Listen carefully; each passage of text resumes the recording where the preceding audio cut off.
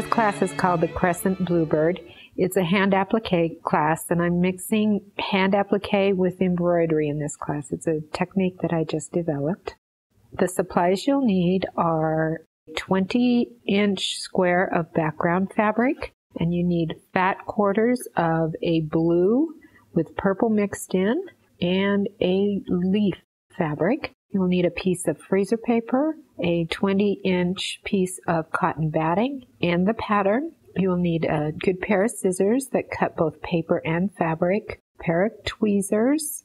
You will need a Hera marker, and you'll need a half inch stencil brush and a little container for that. Starch, Elmer's school glue with the tip, and you can get the tips on my website. I use Milliner's size 9 needles for the embroidery. Need a thimble and you will also need embroidery floss. And a hot iron and a hard pressing surface. In your pattern, you'll need to use the mirror image and there's one that's printed in blue and that's the one that I would like you to use. So this is completely opposite of the the actual block when we're done with it. And it is printed on freezer paper. If you don't have it on freezer paper, you will need to uh, trace it to freezer paper.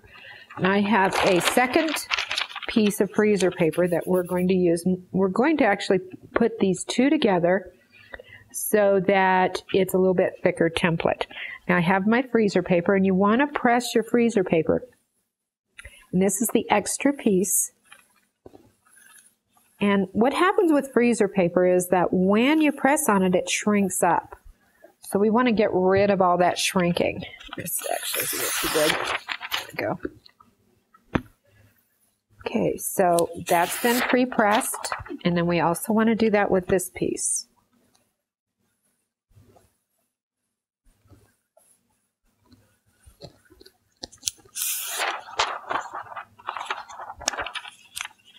And I take the first piece, shiny side down, and press it to your hard pressing surface.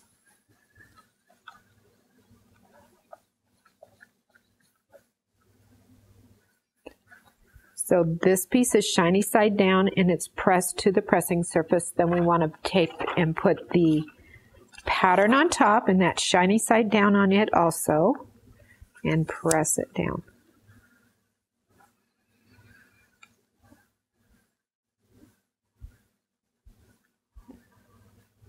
And if the freezer paper doesn't stick together, it just means that you didn't, your iron's not hot enough or your pressing surface has, um, is too soft.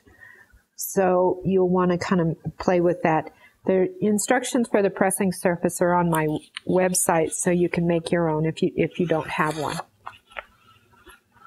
Okay, so we have now it's a very it's a thick piece of template freezer paper template and we want to cut our pieces out and I'm, I'm going to work with piece number one, two, and three.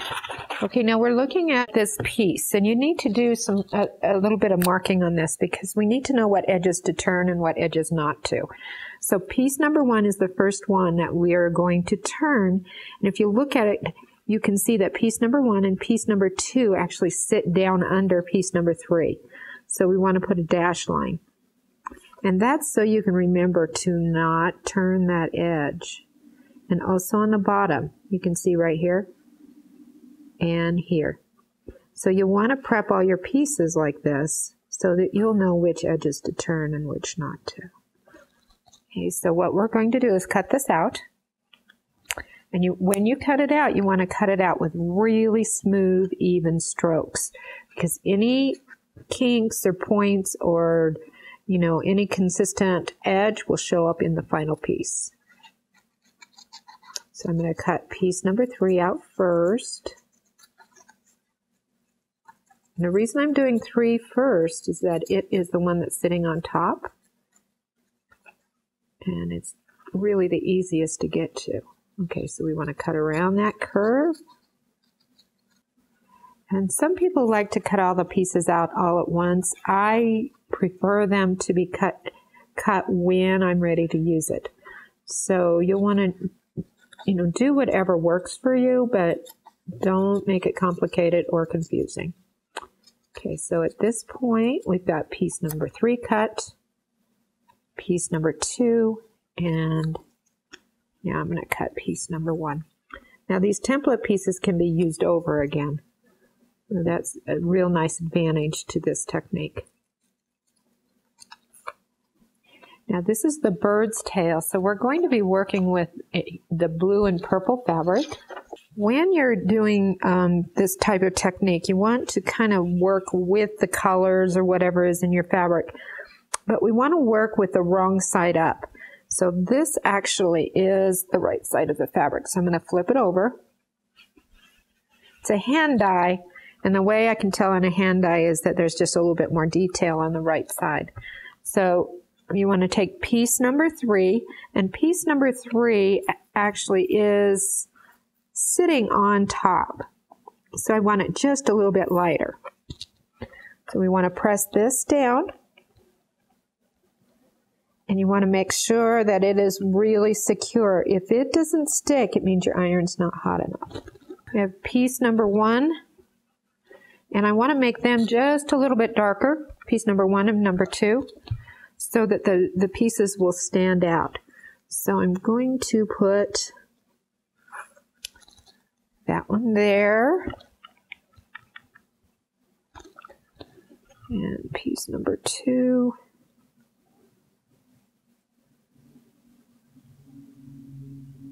Let's put it right here.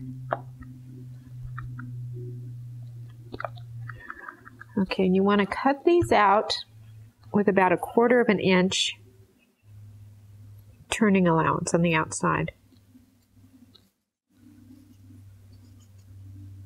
we're going to starch and turn these edges back.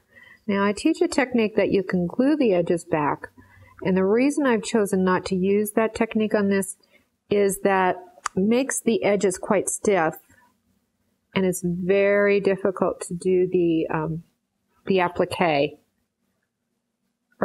which and we're using the embroidery floss through a real stiff edge so this is my choice for the edges. Okay, and we have that one cut out. I think you can kind of see why we had to mark those edges. So we knew which edges to turn, which not to turn. If you had just cut the pieces apart, it would make no sense. There's a couple of ways that you can do this. Some people really, really like needle turn. And if that is your preference, you can use your Hera marker to mark or score the turning edge. And that allows it to turn much easier. So there's an actual kink that you've generated from the Hera marker. You can do it many different ways. And then needle turning, it works really well that way. I happen to like the starch technique, and what I have here is I have a stencil brush. It's a half inch stencil brush, and I've sprayed some starch in a container.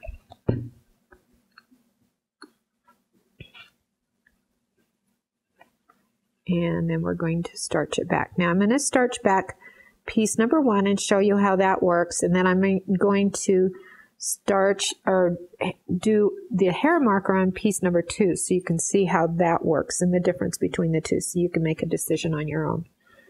Okay, so we want to take and pull those edges back and press them. Now, if you need to, you can use tweezers or the Hera marker to pull the edge back so you don't burn your fingers. You want to try that.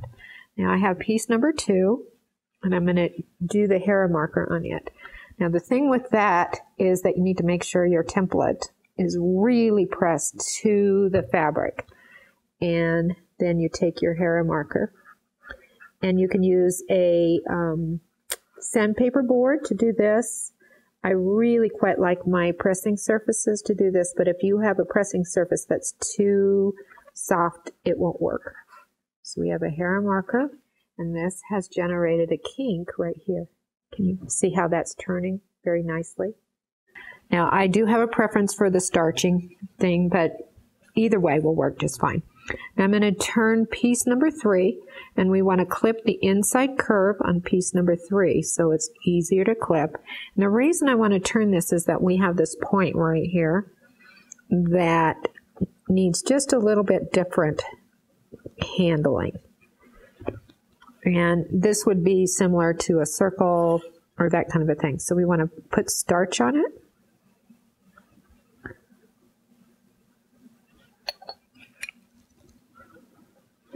I want to roll that edge back against the freezer paper.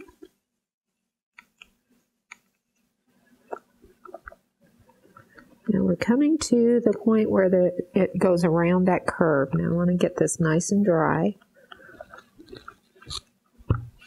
And let's put a little bit more starch on it. I actually use a cuticle stick for this, but you can use the end of your Hera marker. The reason I like the cuticle stick is it kind of grabs it just a little bit better. A stiletto also works really well. So we want to take our iron, and as you're going around that corner, you want to take just little tiny, tiny tucks. And it's about two threads. And you need to do quite a few little tucks. If, if you don't take the real tiny ones, you'll get those big kinks. So, and as you go around, now we can just use our fingers to pull that over.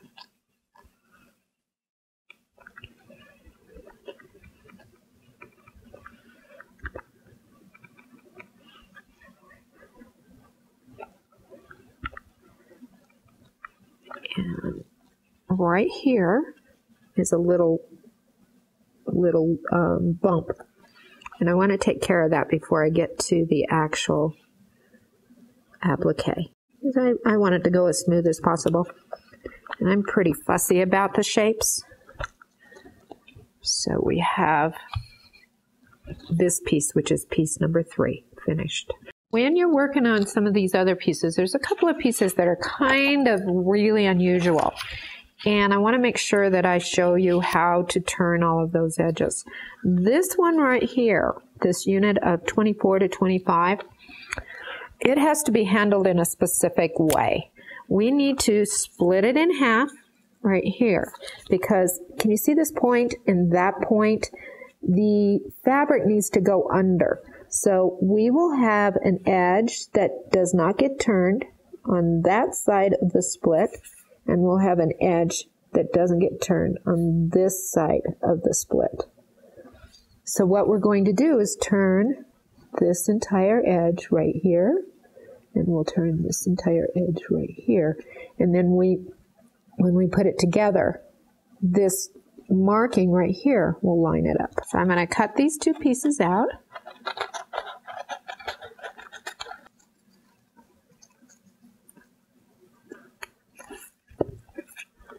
Okay, so we have these two pieces. And I've already cut the fabric for them, so we'll just put the template on.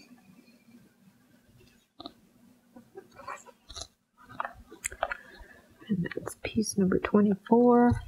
Okay, so when you're turning these pieces, it's it you want to turn the areas that, do, that don't have that dash line it really doesn't matter where this line is, just make it um, in the center at some point. Okay, and you want to clip right at that line. So when we match the, back, the two lines back up together again, it'll all line up. We want to turn this edge Now we're getting to a small little corner there. And remember, when you're doing a tight turn like that, you want to do every two or three threads.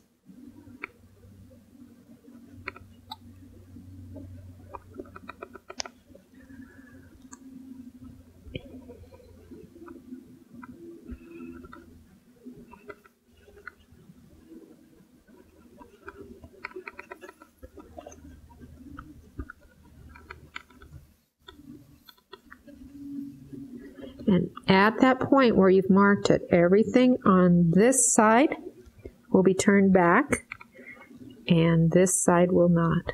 So you can see why, why it's important to clip. Okay, so that piece is done. And now we're going to do piece number 25.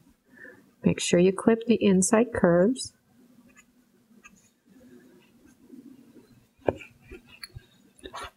And put your starch on.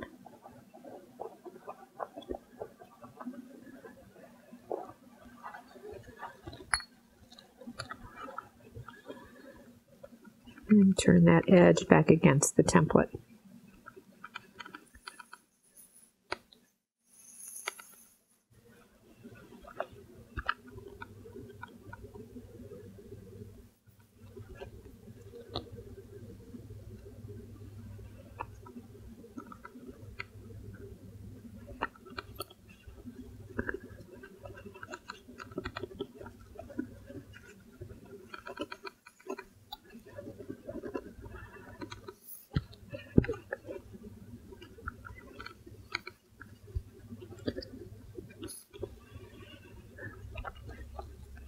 Here we go.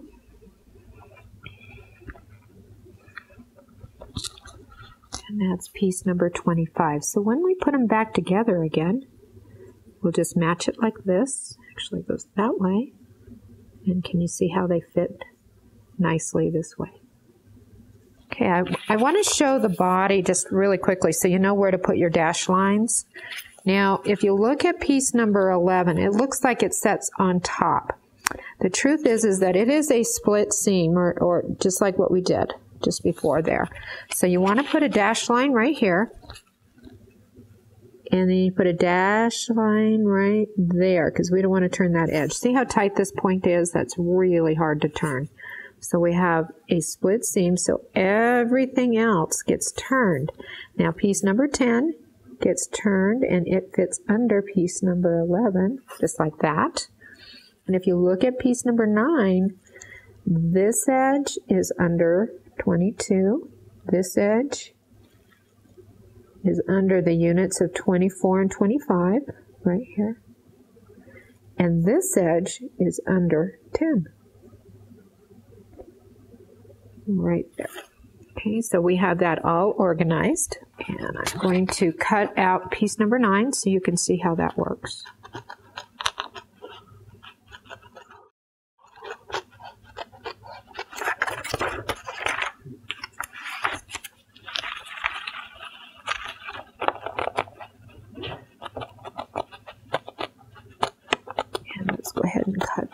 All the way through.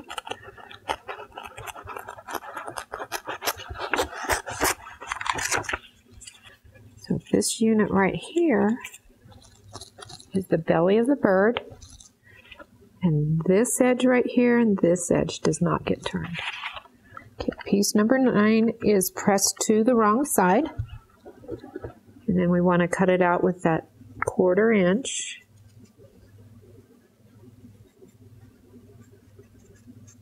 And the reason I'm using a quarter inch on this as opposed to an eighth of an inch, which is normal for my applique, is that we need to be able to grab a hold of that seam allowance or turning allowance and to turn it back.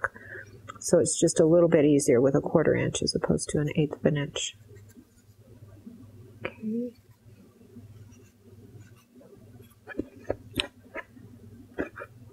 We want to place starch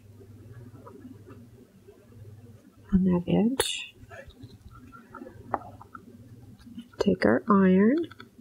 And remember with, with a curve like this, we want to press just the edge and do little tiny bites. So two or three threads, two or three threads, two or three threads.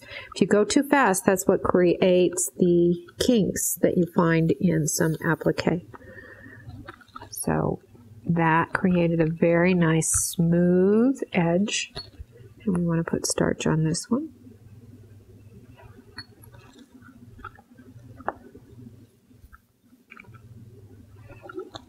And this piece is now ready. We also have a the beak, which is piece number 12.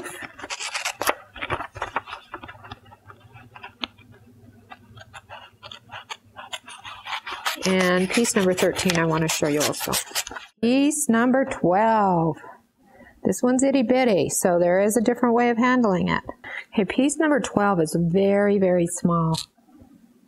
So we want to press that to the wrong side. The trick with small pieces is to not trim all the fabric off.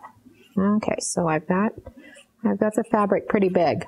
This bottom edge doesn't get turned, so we need to put our little dash lines right there. And when you trim it out, we want to trim just one side right there. And starch. Pull our fabric over and use that edge to get it really nice and true. Now we want to turn the whole thing over and we're going to starch this edge back. So let's put some starch on there. And if you pull that whole edge back, because it's bigger, it should stop right on the edge of the template. You want to press. And now you trim to the quarter inch. We want to trim after we put the fold line on it. That's kind of how you do miniatures, if any of you are interested in doing miniatures. Okay, and now we trim the bottom. And you just want to trim that off. and let's leave the tail out here. I'll show you how to handle that when we actually stitch it down. Okay, this piece number 13 also has some unique um, properties to it. So we want to press it and trim it out with the quarter inch. And the thing about piece number 13 is this point. I wanted to make sure I showed you how to do a point. Now this edge right here doesn't get turned and we want to cut it out with that quarter inch. We want to cut that inside curve just like this.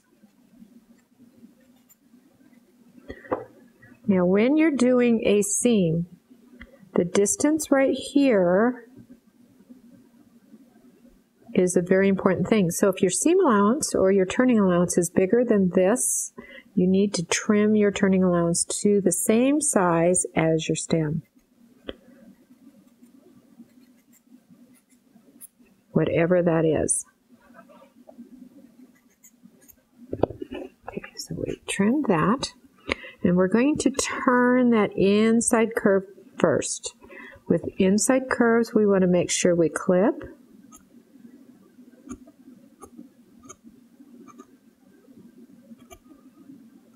And when you clip, you want to leave a couple of threads unclipped next to the template so those edges are finished. And when you're clipping a tight curve like this, we want to clip a little bit closer. Okay, so we've clipped that. You can kind of see how it's been clipped. Okay, we want to place the starch. Now you're going to have to use either tweezers or stiletto or a cuticle stick for this because there's just no other way of controlling that inside curve. So we want to make sure we have starch on it.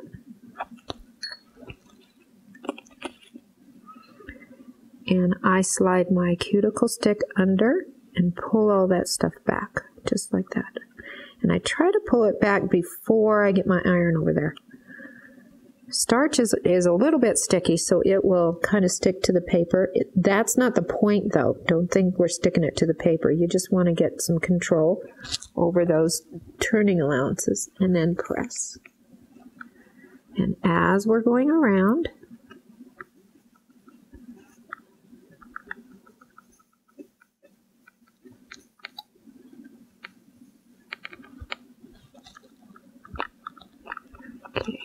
So that's done now. You want to make sure that everything is turned correctly. So always check from the front and see, I don't like it being that straight right there. So I'm going to just touch it just a little bit with some starch, which is right here. And what that meant is I just didn't pull back hard enough on that piece so that it actually curved. So now it's done we want to do the outside curve and you want to put your starch on it. I think you can see why we wanted to trim that seam allowance short enough so that that edge will expose. So as I turn this edge over, it's not going to be a problem. It won't be folding back that previous turn. Okay, so we're going around the corner here. And remember, as we go around curves, you want to get just a few threads at a time. So we have this, and you can pull in your, your little cuticle stick to help you grab it. And as you can see, it really grabs it nice.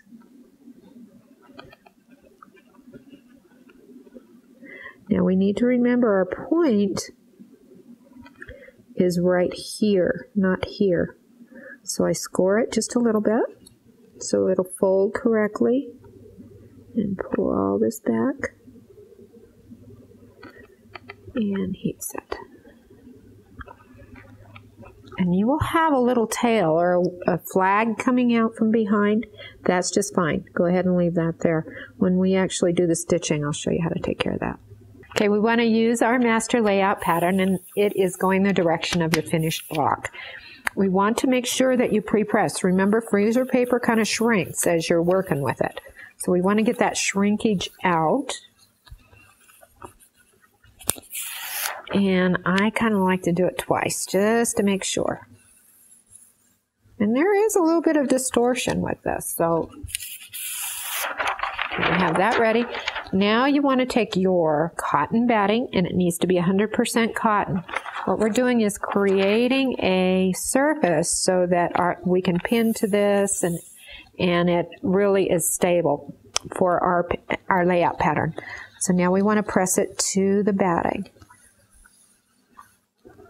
Okay, so we have this ready.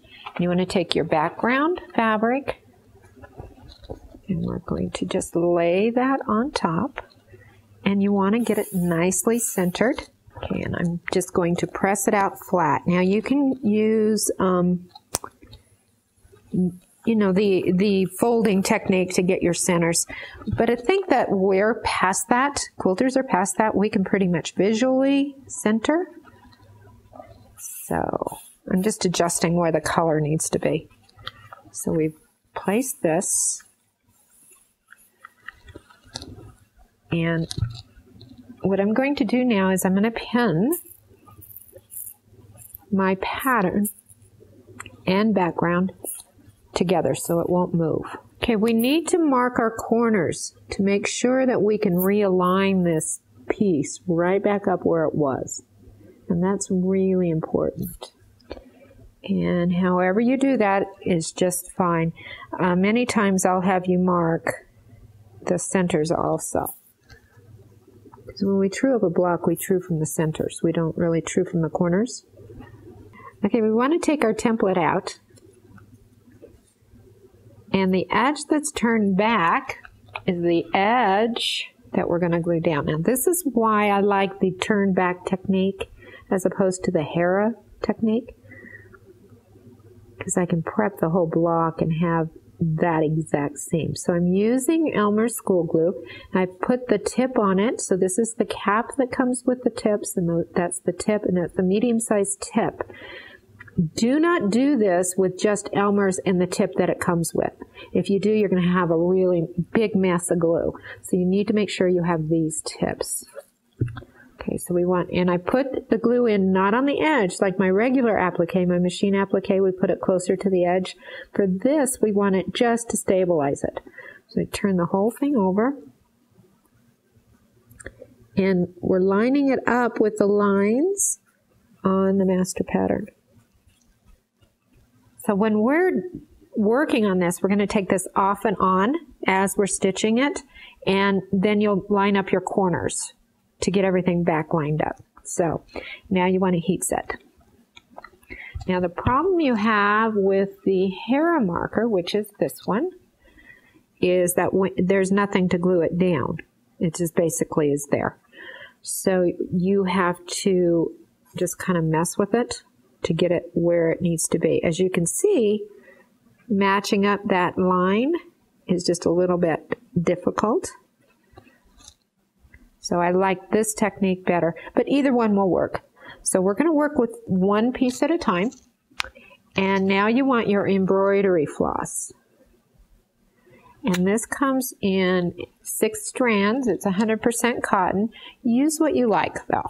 It, it really is not relevant uh, other than what you personally like. Okay, I'm going to use two strands and I actually prefer one, but on the camera it actually shows up better with two. But use your own discretion, whatever your preference is. So we want to pull our strands apart. And you don't want to use a really long length, about 20 inches is all you want to use. And we want to, of course, thread the needle. All right, so we have our embroidery flosses ready to go. You need to take your block completely off of the pattern. We want to bury the knot inside the uh, applique. So we stitch just like this and pull it up. And you want the thread going away from you. And then we want to take a stitch. And this is a stem stitch. So we'll take a little stitch. It's about six threads. And then we catch our applique and then pull it up. So technically what we're doing is we are doing embroidery and applique at the same time. So we want to take about five threads and come up through the same hole that you went down in in the previous stitch and catch.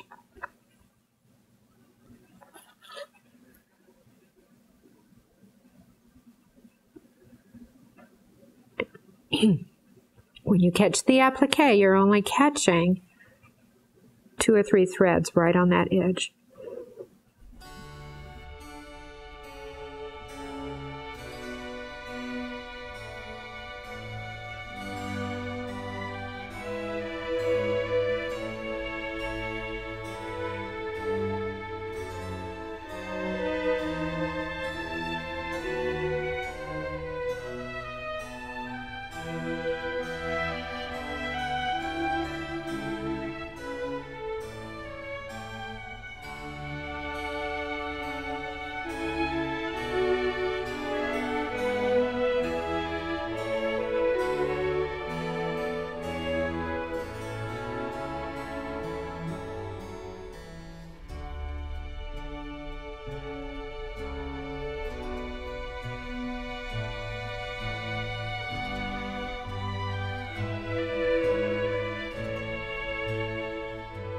This edge is all applique and stem stitched down.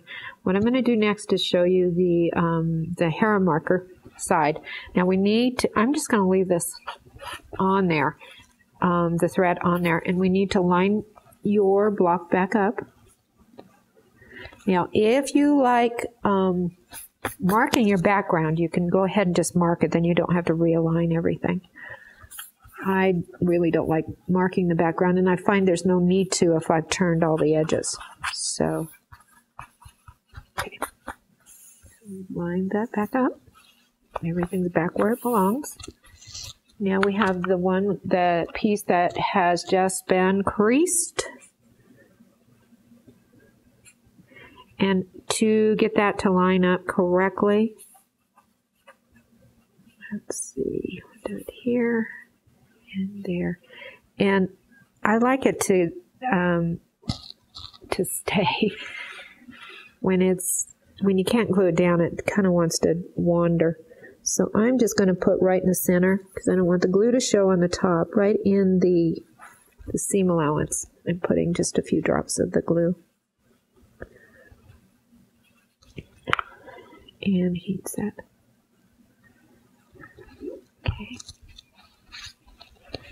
and we have our piece and I'm going to show you with the creasing. Now normally you will have a line um, drawn on your background where you'll know where to match it up. So I'm going to just stitch over to the beginning. And it's kind of unnerving because it is going backwards just a little bit. because normally you would start over here to do the applique, but you have to start at the other end when you're doing this type of applique. Okay, so with the Hera mark, the crease, you can just pop it under And As you can see, it's not nearly as efficient as turning all those edges. But everyone has their own likes and dislikes, so, you know, whatever works for you. Now, I'm going to do just a little bit different stitch on this side. We want to start it out in the normal way with the stem stitch, which is stitching about five threads and up and through, but I'm going to give it kind of a picot thing. So we want to take and stitch back in the same hole. I'm wrapping it around so it's creating a chain stitch. Just like that. And then come back up through right under your little chain stitch. Just like that. And you want to do every other stitch like this. Okay, so we'll do one more stitch. Don't put a little picot there, they're too close when you do that. Put this under, and now we will do a picot. So you'll catch the background and the edge, and then do a little chain stitch. It adds a lot of work, but some things really need something extra, flowers or whatnot. And come back up.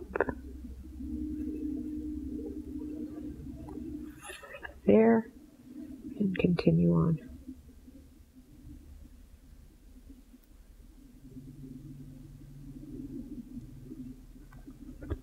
One without the little picot and now we're going to do the picot. I think you can see how much easier it is when the edges have been all turned back. I'm going to just go ahead and do a few more stitches like this and then I'm going to change the stitch so you can get an idea of what all you can do with this. You can do almost any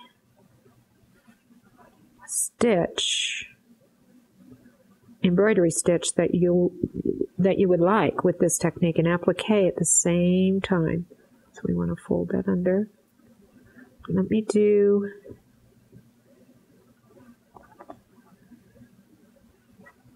just a few more.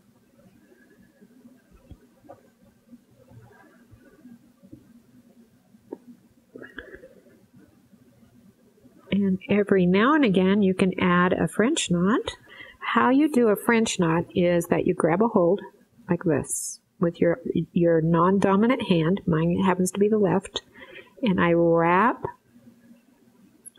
four times, and then you stick straight down into the same hole that you came out of. And I always move that knot clear to the base of my stitch, and then pull it all the way through and then you have a French knot. And come back up and continue the stitching.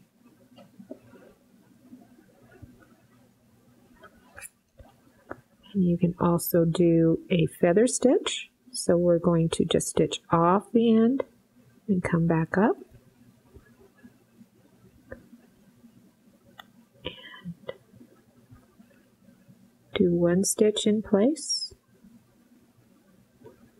And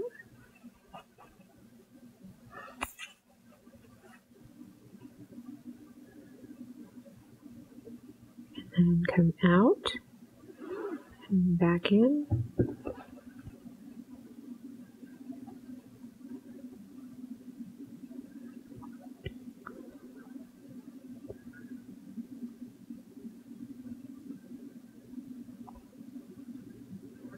So instead of doing a straight line, we are doing just kind of a abstract kind of basically it's a feather stitch. There's no other explanation of it.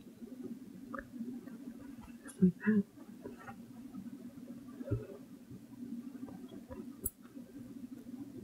The thing that makes this so amazing is that your applique just lifts right up off the piece so you get a little bit more dimension doing your stitches like this.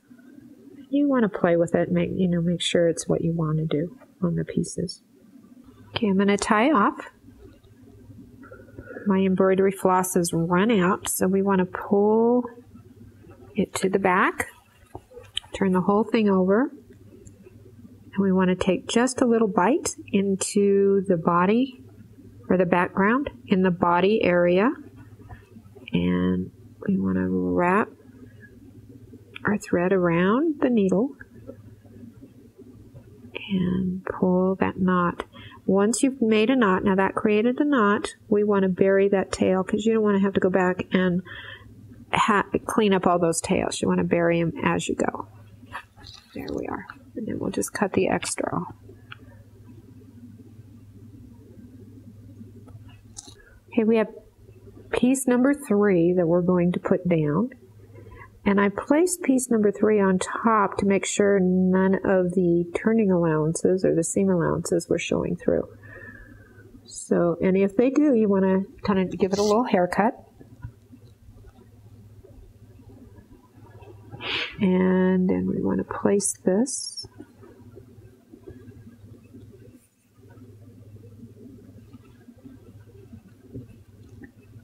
And I think we're good and heat set. Now I would go ahead, personally, I'd go ahead and glue the entire thing down because I don't like going back and forth. So the one piece that I really need to show you is piece number 13. Okay, we're going to put piece number 13 down.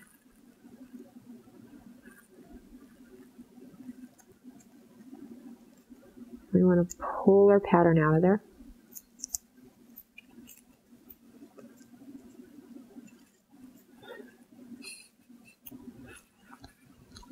And I always like to, if it's distorted a little bit, I like to press it and get it back under control. This seam allowance has gone past the other fold line. So we want to give it a little haircut. Make sure that it, the fold line on the other side is completely uncovered. And we want to put the glue. Now remember, it doesn't have to be too accurate. If you were doing this by machine, it would need to be really quite accurate, but that's where by hand. Okay, so we want to take and place that piece just like that.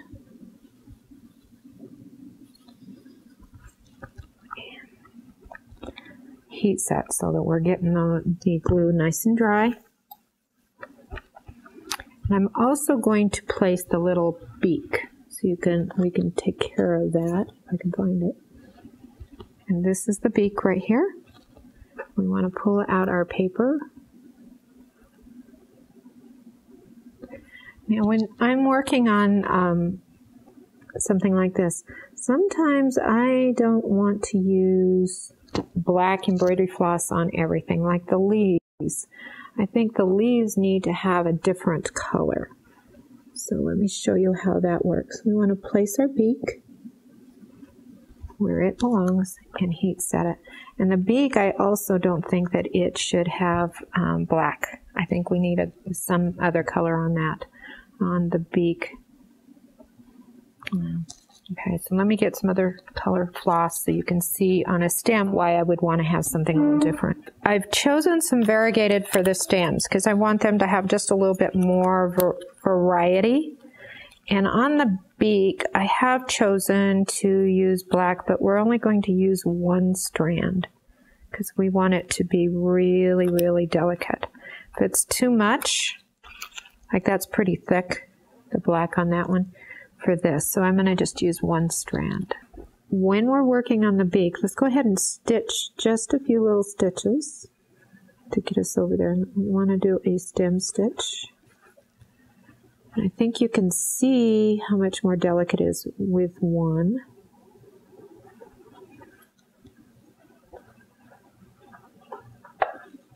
Now we're to that point in the beak do one more stitch and we need to take and pull that it's it's a I kind of call it a flag because it kind of flags out there. I want to pull it all the way back the other direction. Okay, so that's where we're at now. Now I've got it going towards me as opposed to away from me. I'm going to push all of that under. All right, so we want to continue to the point in the same way. But you've got to, at the point, start shortening your stitch just a little bit because there's a lot of bulk right there. So instead of the five stitches, we want to go down to two, or five threads, we want to go down to two. Now we're at the point right there. That's the point.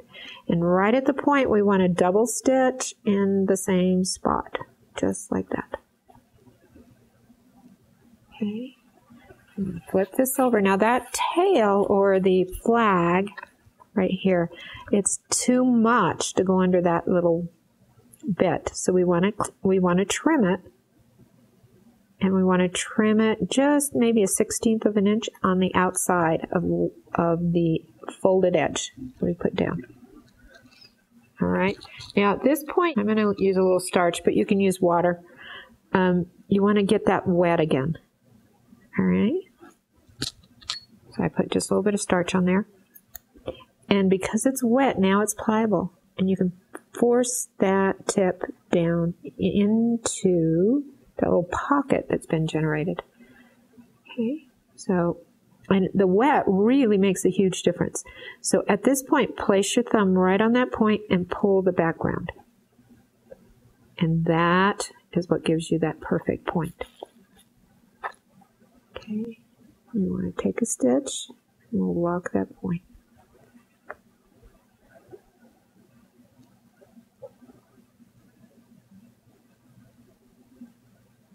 If you don't get your points wet, they it just doesn't work. So it's really important to do that.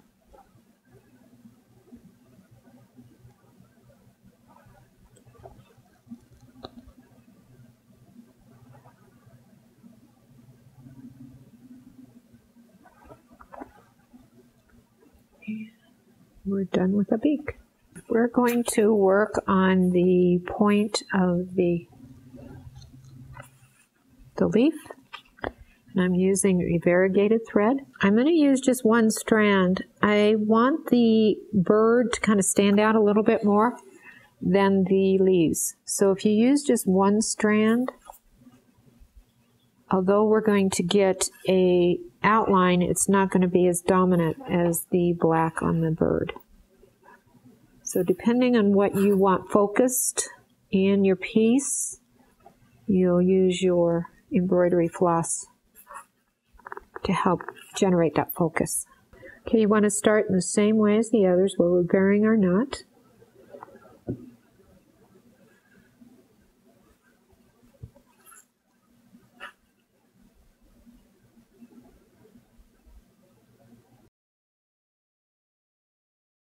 This is just a basic, basic stem stitch and we're using a the variegated the variegated thread and it is adding an accent but it isn't a high contrast accent although every now and again it'll, it'll flip to a light color it'll go in and out of color which visually is uh, similar to having your the sun hit you know, the plants or whatever, but it adds a lot of variety.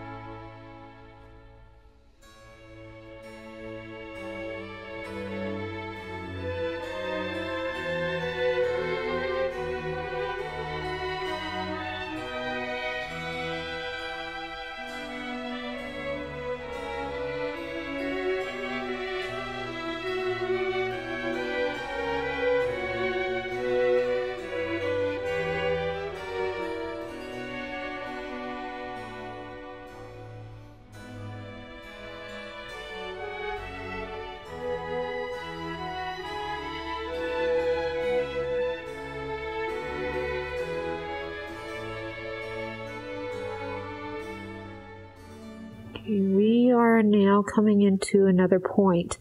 And this point, because of the way that the curve has been done on the actual design, this point, the flag or the tail of the point is pointing towards me. So I wanted to show you how that works.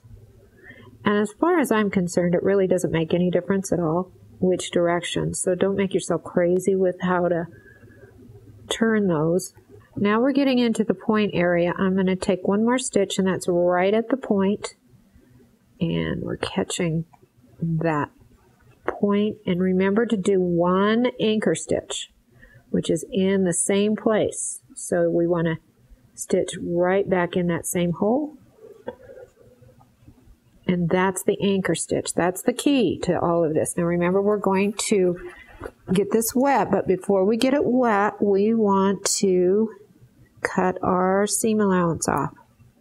We need to eliminate as much as we possibly can. Now you don't want to cut it real close. It's about maybe a 16th of an inch. Get that point wet. And you can use your needle. I use a cuticle stick to push it under. So whatever works for you. I'm going to push all that excess fabric under. Because we've gotten it wet, it goes under very nicely and it'll hold. Okay, so we want to grab a hold and pull on the background. Just like that.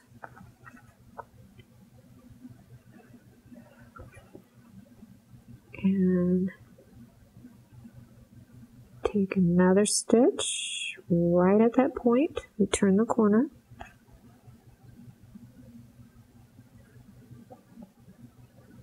If your seam allowance kind of flips to the front, just push it under.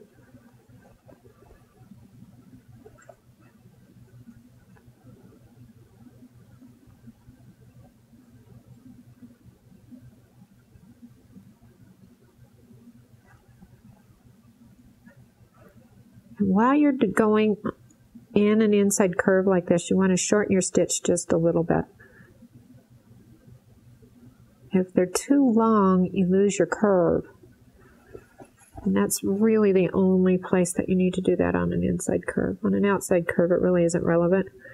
But on an inside curve, if you make your stitches the same length as on an outside curve, you lose the curve So we want to catch that edge. Like that.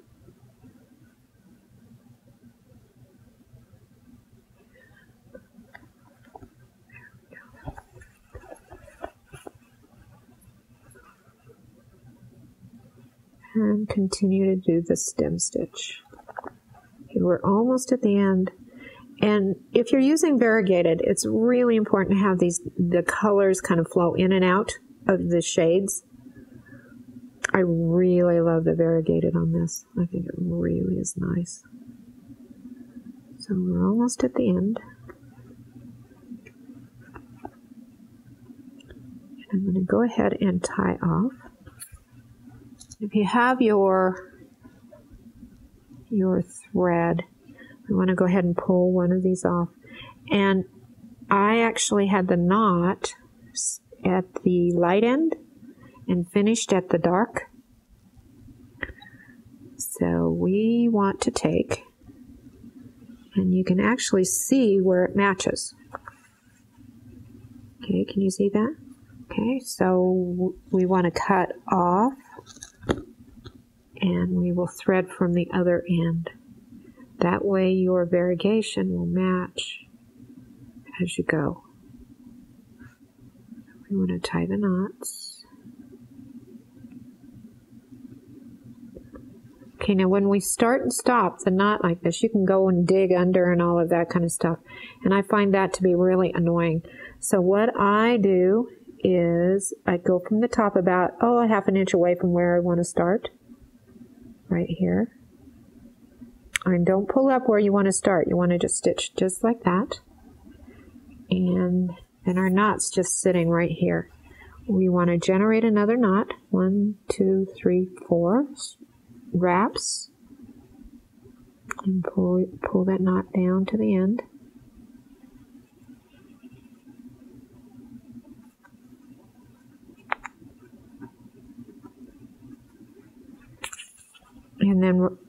Want to go right back in that same hole. Right there. And come up where you want to start the stitch. And what we're going to do is bury that knot. And so we'll take and bury this knot. And it should just pop right in.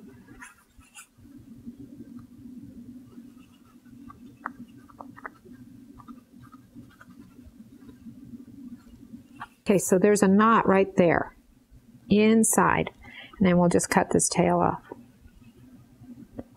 Then we need to catch your applique because that has not been caught right there.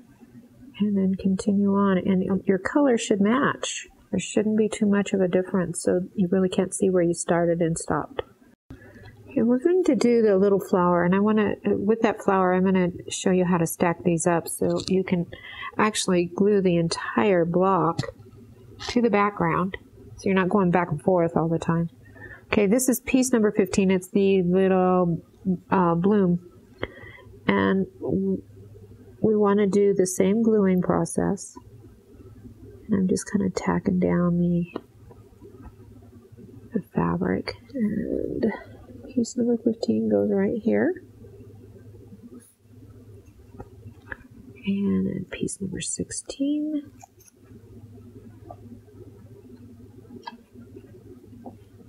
And I've turned all these edges.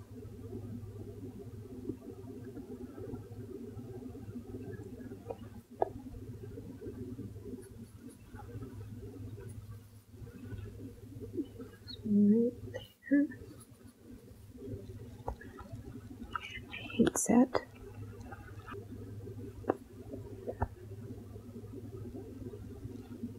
Hmm. My leaf is actually going to be skinnier than that, that allowance there. So you always want to double check and make sure, especially if you know you're coming up to a skinny place. And I'm going to just trim all the excess off right there. And we have this piece, which is a green piece, piece number 18. And it also has a point. it goes right there.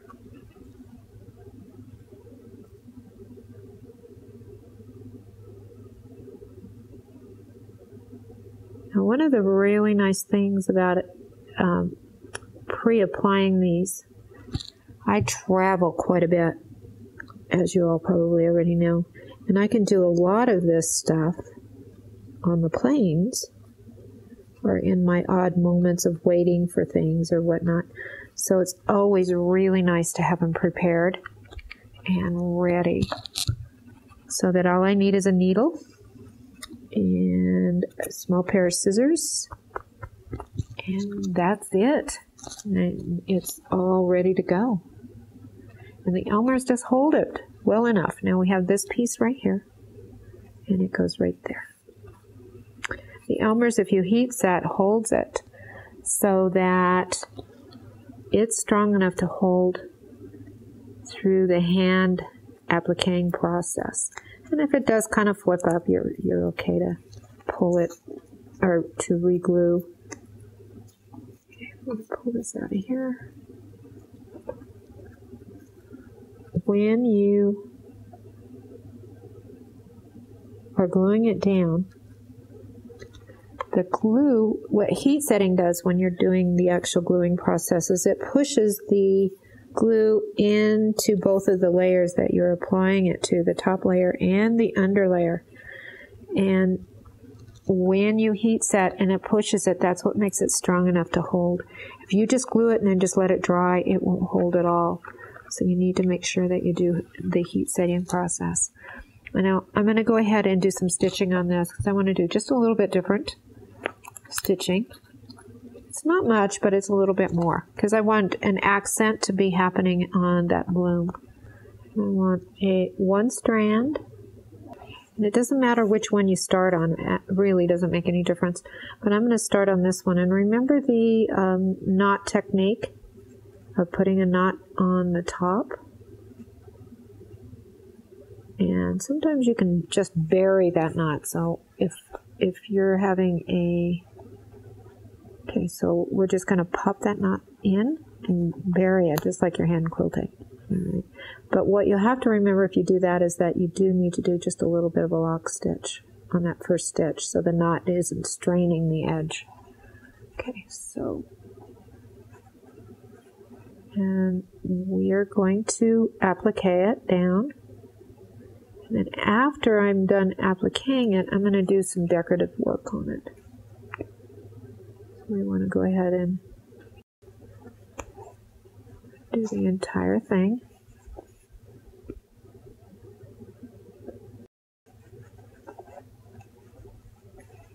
And this is a stem stitch. This is just your basic applique stem stitch. So you're not doing anything different yet. But we are going to stitch back to add some decorative uh, thread work. So you want to lay this as a foundation. And the only reason I'm doing this is because it's a, the flower. And I want it to be just a little bit different than the, than the bird. And I know the bird has black thread on its outline and we've chosen to go with the blue here. Okay, now we're at the end of that stem stitch. Most quilters know about crazy quilts. Well, this is a similar technique to some of the crazy quilt stuff. So we want to stitch up into just the thread of the stem stitch. And I actually need to get out of the way of that leaf, so pull that out of the way. And I'm going to create just a little section where the thread is running out and spinning out. Just like that. And then we want to skip over, skip two threads. And we'll come up through. So I have one, two, so we have the third thread. Catch that. And we do the same thing. And it's a three step stitch. Okay, come back in the same area and out again.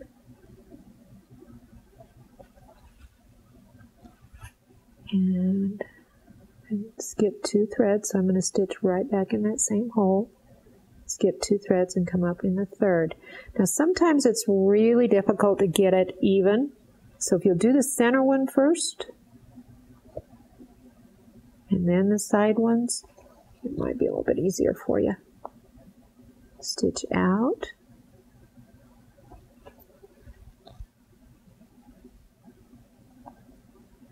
And back again. Like that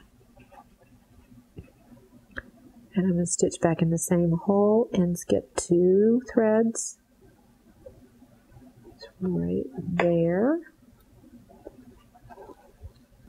And you'll want to go ahead and repeat that on all of the petals.